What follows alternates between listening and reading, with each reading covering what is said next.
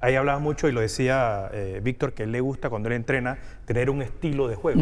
sí. ¿A qué juega Panamá? El estilo nos está costando porque Estados Unidos, Perhalter está hablando y lo ha repetido desde el 7 de enero que está en ese campamento, estoy tratando de crear un estilo de juego.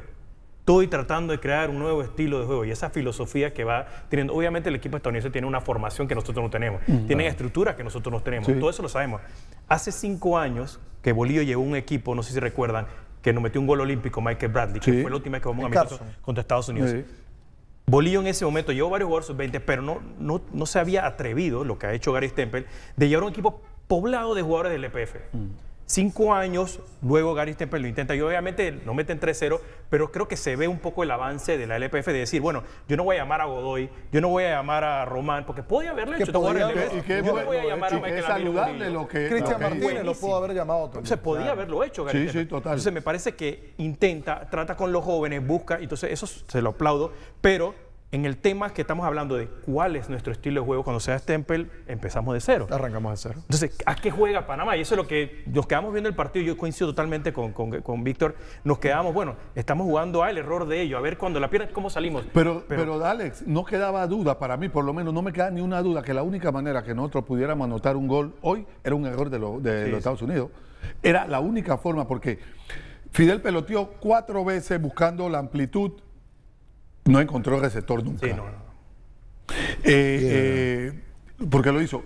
En, en un tiene la pelota, Brownie tiene la pelota en el costado derecho, que empezó por el pierna cambiada.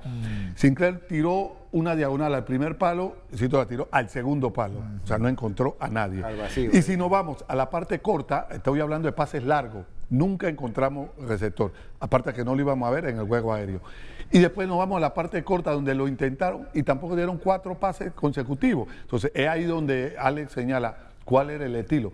Ese es el estilo que nosotros no tenemos. Nosotros no sabemos eh, cuál es el estilo que más nos puede favorecer a nosotros bajo el punto de vista de los jugadores que tenemos. Para hacerlo de un lenguaje más eh, Cotidiano. cotidiano o, más, eh, más pue- pueblerino o de calle, eh, lo que estamos tratando de, de- conversar o charlar o comunicar acá es que Estados Unidos, como bien decía Alex da Silva, su nuevo técnico, dice, yo, el- la forma eh, lo va a hacer todo. La forma de jugar nuestra es realmente nuestra carta de presentación. Así es. Ya sea eh, Ronnie Vargas el que juegue por aquí o Alex Silva el que juegue por aquí. Sí, sí, sí, Él se total. va a embonar a un engranaje. Es como si usted ve, ve al Barcelona sin Xavi, ahora con Rakitic y sin Iniesta, ahora con Arthur. O sea, es un estilo que ya lo tienen desde Ya la Masía sí, sí, no y se que cambia. se juega eh, ya sea el técnico Luis Enríquez o, o Guardiola o hoy en día Valverde.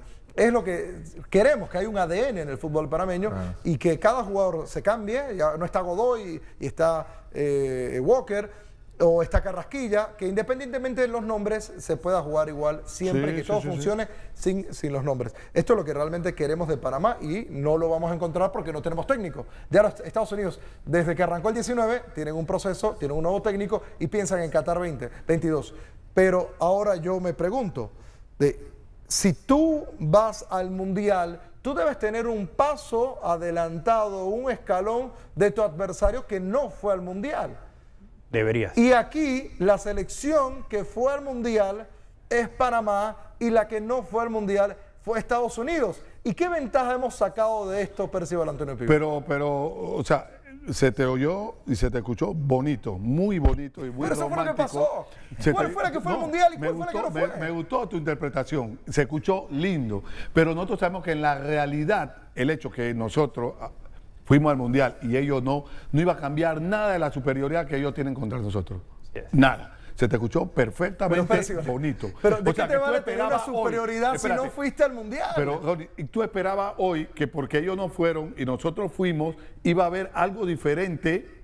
Hoy, me parece que eh, este, yo no sé qué estaba esperando.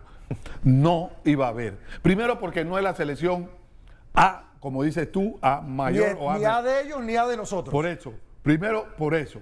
Entonces, partiendo de ahí, no está un Bárcena que le da cosas diferentes, no, da un, no está un Román que le da la fortaleza. No está Cooper. No está Cooper que hace su trabajo. La- bien. Pero ellos tampoco tenían, to- pero ellos tampoco tenían A todos sus caballos. a, a todos sus caballos. Braille, Entonces, Braille. no ibas a ver nada diferente por el nivel que ya te estamos mencionando de las ligas, que al final eso es lo que prevaleció el día de hoy. Jugadores mejor fundamentados que los nuestros, una liga con más peso que la nuestra, y cuando chocan dos ligas, a ese es el resultado. Ahí está el tercero. el, AD Ahí el- está el tercero, exacto. el ADN y la propuesta del fútbol norteamericano, de la MLS, se, se vio reflejada en el partido Sí, de sí, hoy. sí, sí, sí, total. Tocando de primera, fácil, dos toques por los costados, pelotazo cuando se tenía pelota filtrada. Veía a Sardes apoyándose entre los dos centrales, nosotros, recibía de espalda, se apoyaba con su nueve, el medio de contención, el ofensivo que llegara. O sea, los, la- los fundamentos que, que ellos propusieron eran claros. Eran claros. ¿Por qué nosotros no podemos llegar a hacer eso? Independientemente. No, pero esa pregunta usted la está tirando al aire, pero la gente en la casa quisiera que usted la, respo- la, resp- la responda o que ustedes dos la respondan. ¿Por qué Panamá no puede llegar a ese automatismo eh, Y- y futbolístico? yo, yo personalmente considero que es la característica de los jugadores. ¿En qué sentido? Mire lo que la propuesta que tiene la selección norteamericana. Una selección- unos- un grupo de jugadores jóvenes con dos hombres importantes como Sardes en la parte ofensiva y porque ni es la columna vertebral. Sardes y, Y Bradley. Bradley. Uno que organiza y el otro que, que es el referente en el ataque. de y acá teníamos de- a Fidel y, a Arroyo. algo parecido. Mundialistas. La diferencia está entonces es que los- Mundialistas. que los laterales, tanto como. Sí, pero- el otro, el otro, el otro, el otro mediocampista, el otro central, ya tenían una, una- un ADN que es su fútbol que trajeron de su equipo primero, de lo que se juega en la MLS y la propuesta del técnico que bueno va a jugar de la misma manera, dos toques, primera intención, o sea, la formación y la transformación de lo que tienen de su equipo, de su club, traerlo a la, porque el técnico también dirigió en, en, en la MLS. Sí. Entonces él tiene ya el mismo ADN. eh, Gary toda la vida prácticamente ha dirigido en la, en la, en la, en la RPF. Sí, su carrera la ha hecho. O sea, Pero- eso, eso, eso es la diferencia que hay allá. no voy a no, no voy a descubrir nada nuevo, pero ¿dónde entrena est- esta selección de Estados Unidos? Va a un campamento en California que donde puedes dormir, quedarte todo como una especie de centro de, Concentración, de, algo así, ¿no? concentración. Panamá, ¿dónde va? Va a una cancha en Costa del Este. O sea, es donde tenemos nuestro supuesto lugar donde los jugadores pueden Sí. dormir, entrenar y buscamos esa exacto. filosofía. Entonces, Comer, ya- res- respirar. Todo eh, o sea, eso ya vamos partiendo en el avión, ya estamos 3-0 en el avión, ya llegamos y vemos cómo hacemos. Sí, pero entonces, eh, estamos hablando del referente de ellos en el medio campo, que es Bradley, y el referente para este partido, que era Sar de arriba. Estamos hablando del de nosotros, Fidel, y él. Pero ¿sabes cuál es la diferencia entre esos dos, de- con los dos? Que esos dos han jugado más de 50 partidos en el año 18 y los dos de nosotros, Fidel casi no jugaba. A toda la calidad, a nivel de club, Sí. toda la calidad que tiene él y no jugaba. Y, y Arroyo, después que salió de la liga, que era donde medianamente más jugaba, se fue y no jugaba. ya regresaron. Ya lo regresaron. Y estos siguen al nivel. O sea, tú no. eh, a veces ni, ni- ni hay comparación, por lo que señalaba Da Silva. El- ellos hacen un campamento de, de- de- de entrenamiento y no tienen que moverse para ningún lado. ¿No? O sea, la diferencia esa no la vamos a descubrir ahora los cuatro Sí, sentados no, aquí. sí. Es una diferencia que está. Y los televidentes saben. Y los televidentes Sí, saben. pero Persia, eh, yo te voy a, voy a lucir eh, como el, el abogado del diablo. Pero la selección que fue al mundial fuimos nosotros. Te puedo decir varias no. circu- Y circunstancias. ellos no.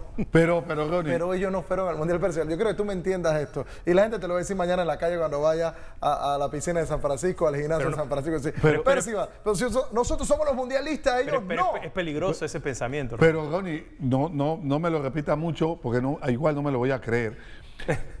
Te voy a aceptar y te tengo que creer que nosotros Sarde puede fuimos haber y jugado nosotros 50 no. partidos en la MLS en la temporada que pasó Sarde. Sí. Pero no ha jugado en el Mundial. Porque Bradley se ha jugado Mundial, pero Sarde no ha pisado un Mundial. Sí, pero ¿y, y, y qué? ¿Qué cambió, Ronnie? ¿Y qué cambió?